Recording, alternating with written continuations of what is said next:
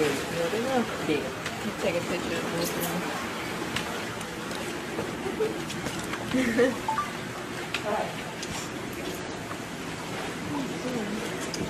sounds kind of good.